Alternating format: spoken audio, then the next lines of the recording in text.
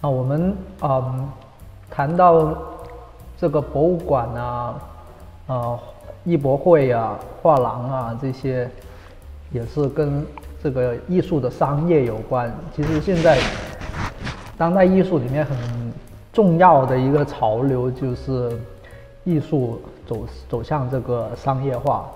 比如说像我们之前讲过的村上隆，这个就是一个很重要的一个案例，他。直接把这个他的作品都变成用很商业化的形式去销售。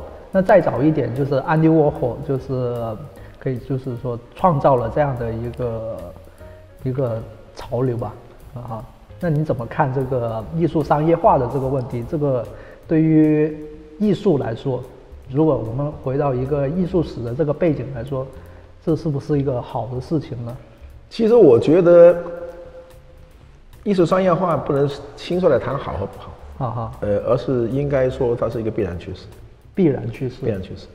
嗯，安迪沃霍的做法，村上隆的做法，嗯，他们的前提就是具备了这样一个市场，嗯和具备了在这样一个市场当中所创造的推广方式，嗯哼，只不过他们拿过来做艺术推广，嗯哼。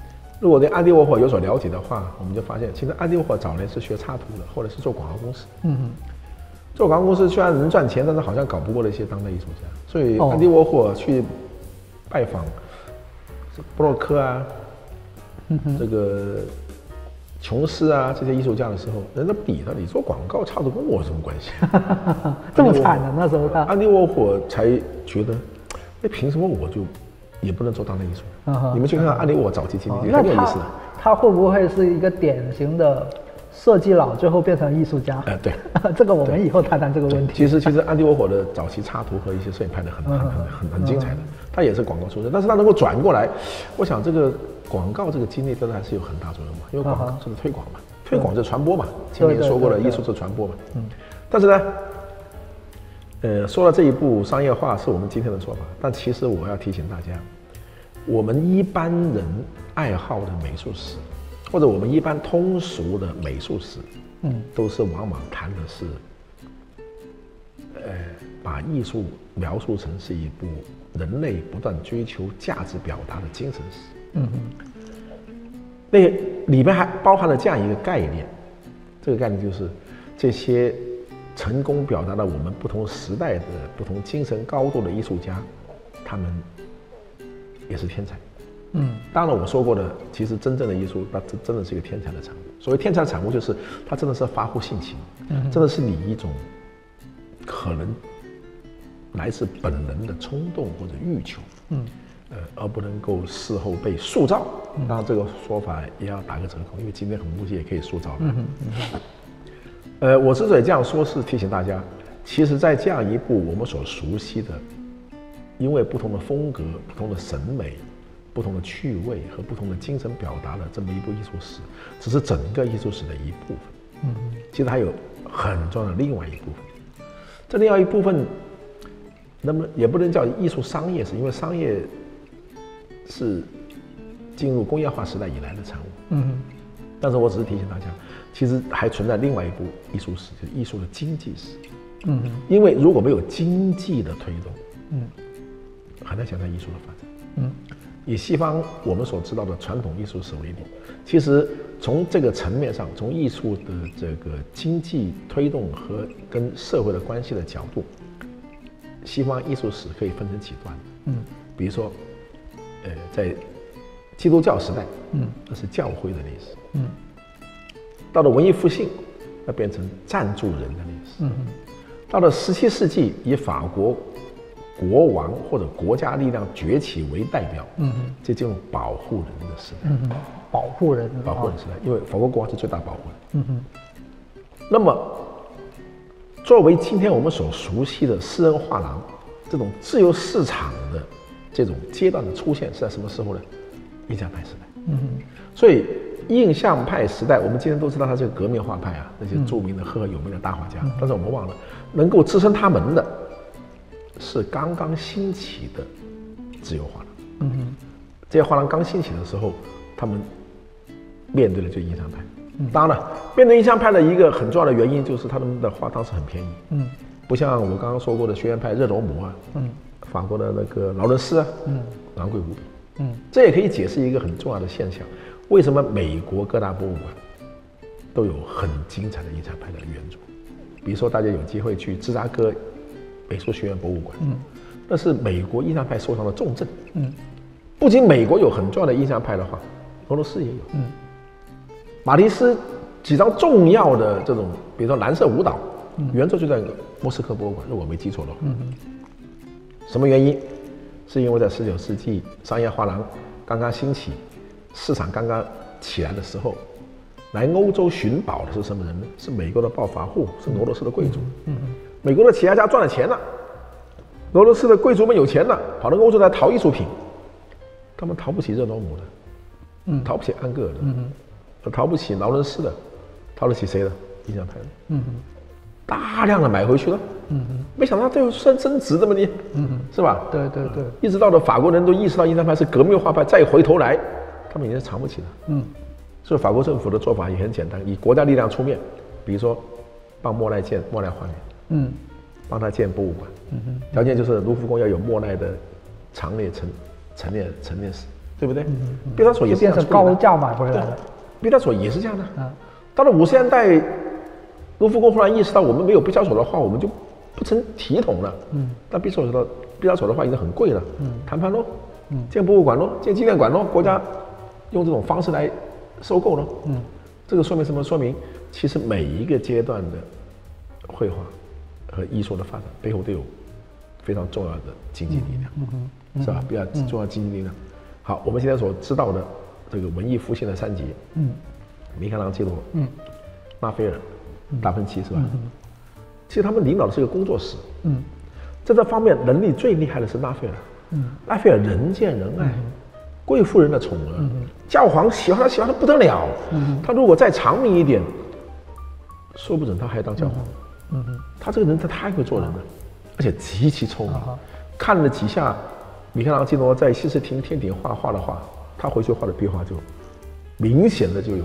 某种奇特的米开朗基罗的影子，而又完全不同于米开朗基罗。所以米开朗基罗看到拉斐尔的那个著名的那个几张壁画，很生气啊，因为米开朗基罗发现是对手来的。嗯，而米开朗基罗也很厉害啊。我们说他是伟大的艺术家，但是我们忘了，他还是个伟大的工作。他有一个，他领导一个伟大的工作坊，今天的公司，嗯，领导一帮人，而且米开朗基罗。做大理石生意做得很成功，他打造大理石，他有一个工程队的，那打造大理石，而且米开朗基罗是一个非常成功的一个工程师，他把那个躺了据说有几百年的那个五米的那个大理石雕成了著名的大卫，然后要把这个大卫安全的、没有一点损坏的运到佛罗伦萨的市中心，嗯，怎么运。的？嗯。所有会运输这个雕塑的。设计工具都是他设计的，嗯，就成功达到这个目的。所以我们可以把米开朗基罗看成是一个伟大的工程师。嗯，最差的是达芬奇，达芬奇是个科学家，是个实验家，是个想入非非的人，是个天才。结果呢，只有达芬奇总是不能按时交货。嗯，不能按时交货的雇主们就很着急了。画最后的晚餐画了这么多年，画完了，而且他边画边做实验，不到十几年颜颜料就剥落了。嗯。至少由他的学生再画了一张。我们今天知道这个画的细节，就靠他学生这一张啊。啊，而且到了最后，米开朗那个那个那个那个达芬奇接活就越来越不顺利了。嗯，是吧？所以他在佛罗伦萨有点待不下去了。嗯。但是我们的法国出现了一个伟大的国王菲利普国王，他是一个文艺复兴的狂热崇拜者，他把达芬奇接到了意大利，也接到了法国。嗯。跟他盖了别墅。晚年的达芬奇受到贵族式的招呼。全部靠菲利普国王把他养起来，他为菲利普国王规划他的新的国都，他想在他的家乡建立一个法国国王的首京城，不是在巴黎。嗯，达芬奇给他做策划了，你们可以看看达芬奇的历史啊。嗯，但是达芬奇已经晚年了，待了两年就死掉了，死在谁的怀里？菲利普亲王的怀里。所以达芬奇为了感谢法国国王的恩遇，就把他随身携带的蒙娜丽莎送给了法国。嗯，他留在卢浮罗卢留在卢浮尔宫。嗯，意大利人没得抗议的。嗯，意大利人说这么伟大的艺术家，意大利的干嘛这么伟大的画跑到法国去了？法国人说是你们不要达芬奇的，是我们的仁慈的国王把他收留下来的。这说明什么？说明那个年代已经有完善的投标制度。嗯嗯，达芬奇也好，达芬奇也好，米开朗基罗也好，同拉泰隆也好，阿萨乔也好，乔托也好。嗯嗯，他们的雇主是教堂。主教，嗯。教皇，嗯。米开朗基罗跑到罗马去找教皇，就是为了接活，嗯，结果教皇不给他搞雕塑，让他画天顶，天顶画，嗯，他很生气啊，他要做雕塑啊，但是不画不行啊，他觉得不能够得罪教皇，嗯，也许以后还会有更好的活来呢。果然达芬奇是对的，哎，米开朗基罗是对的，那个时候叫保护人制度，嗯，赞助人制度，佛罗伦萨美第奇家族，特别是罗伦佐，这个。非常精彩的美第美第奇家族的这个统治者，他对艺术太了解了。嗯，其实佛罗伦萨的文艺复兴之所以如此发达，成为欧洲文艺复兴的中心，跟这个劳伦佐有密切的关系，因为他很有意识的通过成熟的投票制度，让所有他认为优秀的艺术家都必须接到活。嗯哼，他绝对不会把活只给米开朗基罗一个人干。这个达芬奇一个人干，这个同拉泰罗一个人干，他分散。凡是知名的艺术家，我都要必须让他有活干，因为我要留他的艺术品。所以佛罗伦萨的艺术就是这样繁荣起来的。嗯哼，这个叫赞助人制度。嗯哼，赞助人制度一直延伸到斯西，呃，延延伸到那个威尼斯。嗯，对不对？嗯，威尼斯提香，当时威尼斯在崛起的时候。嗯那么，作为商业的出现。艺术品作为商业的比较成熟的出现是在十七世纪的荷兰，就是 Golden Age 黄金时代。为什么荷兰会成为黄金时代？因为荷兰商人当时全欧洲最有信用了。嗯，他不是靠军队，他是靠经商的信用来获得他的声誉，所以荷兰就崛起了新的商人阶层。嗯，是吧？然后就出现了荷兰画派啊。嗯，比如说伦勃朗啊。嗯。有一段时间，有很长时间，西方各大博物馆都在争论伦勃朗的画的真假。有的画是伦勃朗画的，有的画是伦勃朗的徒弟画的，有的画是伦勃朗的学生画的，争论不休。比如说美国，我没记错的话，芝加哥美术馆的一张伦勃朗的原作，荷兰伦勃朗原作鉴定委员会认为那个是假的，那个不是伦勃朗画的。嗯，美国人很生气啊。嗯，但是。前段时间有一个女的艺术史家，经过很多年调查，写了一本书。嗯，这本书出来，大家不再讨论这个问题。这本书题目叫《伦勃朗的企业》。嗯，啊，这本书告诉我们听，其实当时伦勃朗不仅是一个画家，他以他强有力的手段，其实建立的是一个伦勃朗公司。这个伦勃朗公司在有目的的、有步骤的在生产伦勃朗的绘画。所以在某种意义上，伦勃朗时代。的这种话，没有真假，都是公司的产品，知道吧？嗯，都是公司的产品。所以这本书出来以后，大家才发现，我们有了，我们又有了一个新的艺术史的一个角度。我们终于发现这个伦勃朗，伦勃朗的这个企业的重要性。而他这本书的结论就是，伦勃朗是个企业主，他的公司叫伦勃朗公司。大量的画是从罗布朗公司出来的，由罗布朗把关，罗布朗强有力的把他风格推广到社会，所以他就有破产了。他画了叶群，坚持自己在叶群里面的这个这个这个信念，得罪了荷兰阿姆斯特丹的商人们，于是他就破产了，是吧？他是破产了，破产的是公司概念。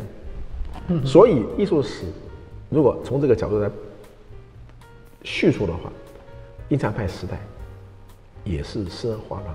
出现和成长的时代，嗯，私人画廊的最主要的对象就是印象派，